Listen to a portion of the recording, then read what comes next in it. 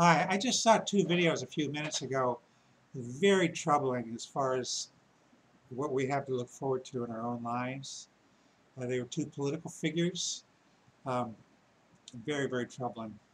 And it doesn't have anything to do with what politics, if they're left or right or whatever. By the way, I'm the author of this book, The Doctor Who Cures Cancer. I'm also the inventor of the Heartfelt Energizer. Just saw a video of Nancy Pelosi and Joe Biden, and both of them are having significant mental memory problems. It's really getting bad.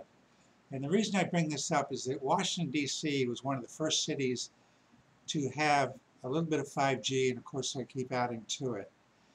And it affects your brain.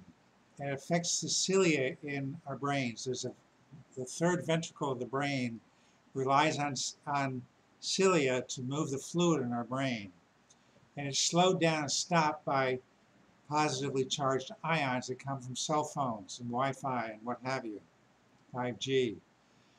And when it slows down, it causes amyloid plaque. And we know the association of amyloid plaque with memory issues with Alzheimer's.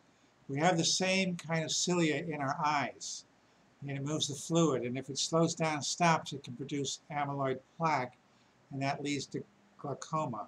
So if you know of anyone who's having trouble with Alzheimer's or with glaucoma, I hope this information is helpful to you.